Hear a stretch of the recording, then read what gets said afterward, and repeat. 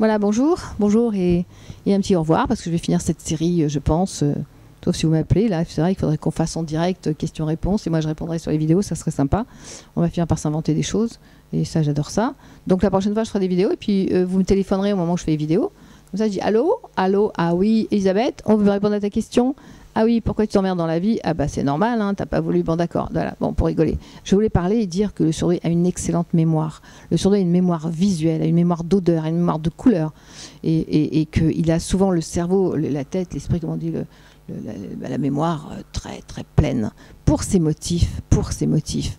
Il est extrêmement euh, dangereux, entre guillemets, psychologiquement parlant, de faire euh, des flashbacks pour les surdoués, c'est-à-dire de leur demander de se souvenir Souvenez-vous à 3 ans ce qui vous est arrivé. Et le il va chercher, il se souvient de tout. Donc non seulement il va mémoriser ce qui se passe aujourd'hui, il va peut-être projeter ce qui va se passer demain, en tout cas il a peur de ce qui va se passer demain, donc il va déjà le mémoriser. Et en plus, vous lui demandez de retourner à ses 3 ans pour savoir exactement qu'est-ce qui s'est passé en détail. Donc non, le sourd doit retourner rapidement et revenir euh, très rapidement. Donc le sourd a une excellente mémoire, il se souvient de tout. C'est bien ce qui à un moment pose problème. C'est euh, tout n'est pas bon à retenir choc émotionnel, les images pas bonnes. Donc c'est vrai que le doit faire, euh, il serait souhaitable que le fasse un petit travail avec lui-même sur remplacer les mauvaises images par les bonnes. C'est demande un travail et ça lui éviterait euh, tous ces coups de cafard qu'il a dans la, que certaines personnes ont dans la journée, euh, sans motif apparent et qui ne sont que la retranscription de la mémoire qui refait surface sur des mauvais souvenirs, qui peuvent être une couleur. Par exemple, vous pouvez. Il y avait le film d'ailleurs, Pas de printemps pour Marnie, que j'adore, de Hitchcock. Pas de printemps pour Marnie. Pas de printemps pour Marnie, elle se souvient de l'orage et d'une tache rouge, voilà, qui est en fait toute son histoire, et c'est insupportable pour elle.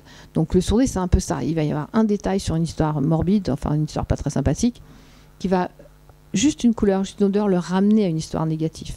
Donc euh, cette mémoire qui est très très euh, complexe pour le surdoué et, qu'il vit avec grande difficulté quand il n'en est pas conscient et quand il ne comprend pas pourquoi. Il peut passer dans la rue sans s'en apercevoir et voir un, une, couleur, une image ou une, je sais pas quoi, un dessin qui lui, qui le ramène tout de suite à un souvenir négatif et il va immédiatement se replonger dans ce côté tristesse qu'il avait vécu à l'époque où ce morceau d'image se raccordait à son histoire du passé. C'est clair? C'est clair. On peut trouver d'autres mots pour le dire, mais voilà, j'ai su le dire que comme ça. Donc, euh, donc ça engage beaucoup de tristesse du surdoué qui est plutôt dans l'amertume, euh, l'amertume qui vient. Euh, bon, bref. Donc, ma mère me tue. Voilà, mais en fait, c'est pas ça. C'est des paroles de la mère qui peuvent être ou des souvenirs d'enfance. Et voilà, quand quelqu'un va quelque part et que la maison, par exemple, lui fait souvenir la maison de son enfance où il a souffert pour X raison, donc immédiatement, il rentre dans cette espèce de, de, tristesse nostalgique. Voilà, cette espèce de tristesse nostalgique, c'est parce que le sourd a une mémoire colossale. Donc, euh, euh, regardez des belles choses, le sourd a besoin de voir des belles choses pour, euh, pour que cette mémoire se remplisse de beauté et non pas de choses pas bonnes.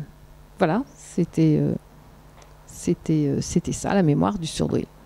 Donc, la prochaine fois, je vous propose qu'on fasse un petit truc comme ça de faire euh, en direct. Vous m'appelez et je répondrai directement à vos questions. Mais n'hésitez pas à mettre des questions euh, courtes et rapides sur hpihpe.gmail.com. Voilà. Euh, autre chose? Non? Alors on va en rester là. Je vous embrasse bien fort, je pense bien à vous.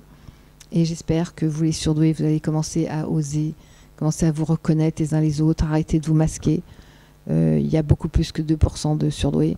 Pourquoi on est là, je ne sais pas, on le saura un jour. En tout cas, euh, c'est avec joie que le surdoué aime partager. Alors, euh, continuez comme ça, acceptez-vous comme vous êtes. Et certains surdoués sont en train de mélanger. Certains surdoués sont en train de mélanger, euh, comment dire, de rendre service et de je ne le ferai plus pour les autres. Ah ça peut être une vidéo, ça. Bon, écoutez, je vais faire un petit sujet vite fait, rapidement. Je vous embrasse. À bientôt. N'oubliez pas, votre mémoire doit être remplie de bonnes choses et de couleurs et de parfums. Je vous embrasse. Bisous.